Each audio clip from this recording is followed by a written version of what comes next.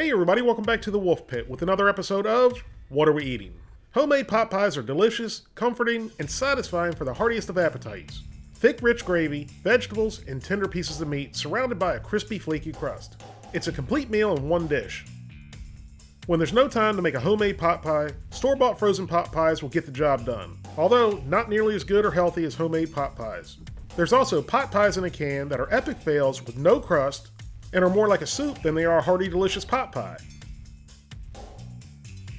But there's also pot pies in cans that are real pot pies with a crust.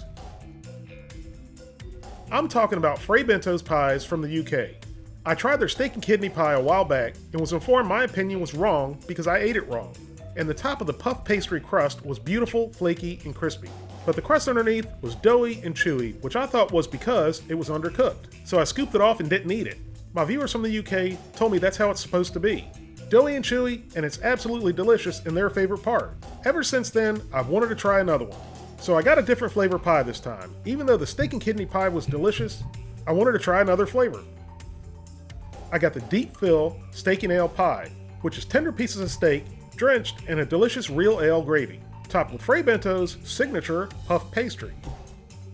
Even though there's quite a few ingredients in here, which is pretty normal for prepared and canned foods, the beef is actually real beef and not some garbage mixed with various sorts of proteins and other fillers. I'm not sure what the 25% next to the beef means. Does that mean the beef takes up 25% of this pot pie? If so, where's the beef? It's a steak and ale pie. The beef should be at least 50%, if that's what the 25% means. Then there's margarine, which I don't see a whole lot in foods here in the States, which contains a very controversial palm oil. I was actually surprised this contains real ale, which it should, because it's a steak and ale pie after all. But there's quite a few foods that I've tried that said they contain an IPA or Pilsner, etc., which none of them really did. They say this pie is two servings, but realistically, it's only one.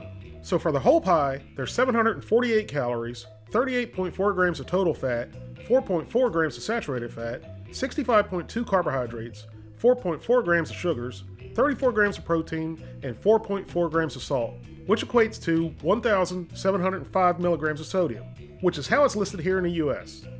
The best buy date is 2018, which I'm sure it'll last a lot longer than that.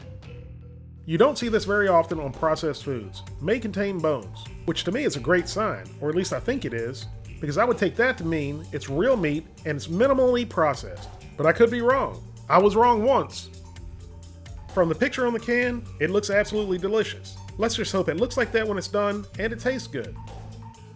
I find this pretty funny. With a warning like this, you know a future Darwin Award winner baked it in the oven without having the common sense it would explode if they didn't take the lid off. Here's what you can expect when you first open the can, and I've gotta say, this one looks a lot better than the steak and kidney pie did. The directions say to preheat your oven to 450 degrees and of course, remove the lid. Place the open can on a baking sheet and bake for 25 to 30 minutes or until the crust is risen and is golden brown.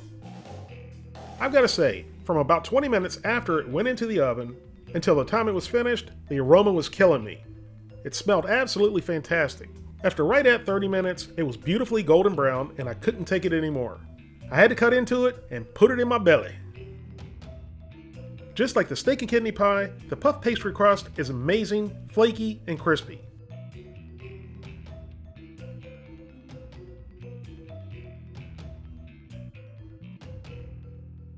Look at that.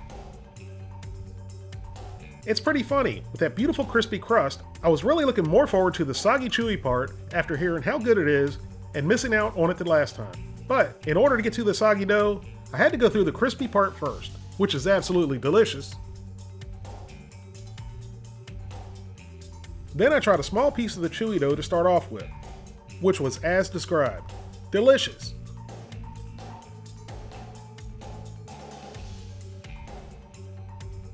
Before I really dig in here, let's flip the crust over and take a look at the inside.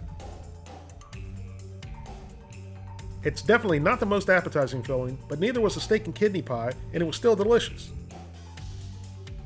The chunks of meat are pretty small, but you can tell immediately that it's all real meat, which is a very nice surprise compared to most of the other foods I try that are loaded with soy protein and other fillers.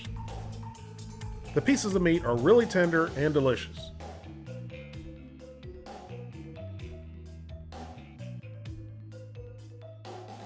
I switch from a fork to a spoon to get a good taste of the gravy along with some of the soggy dough.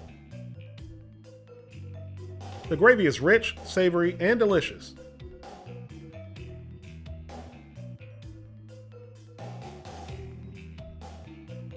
And I'm starting to see what the people in the UK were talking about with the soggy dough. Now I'm really wishing I had eaten the dough in the other pie.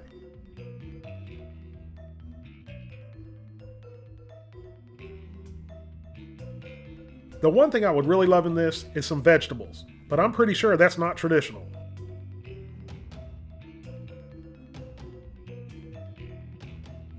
I had already eaten enough of the pie to give you my thoughts on it, but unlike most of the other foods I try, I continued to eat this and actually ate the whole thing.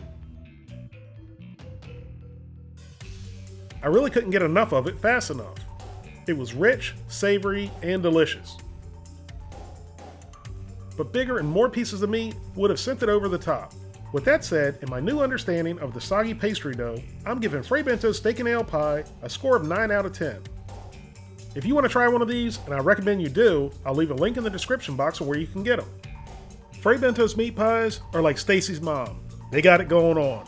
If you'd like to help support the Wolfe Pit, please consider being a patron. You can pledge as little as a dollar a month, that's only $12 for the whole year. Or you can pledge more, that's up to you.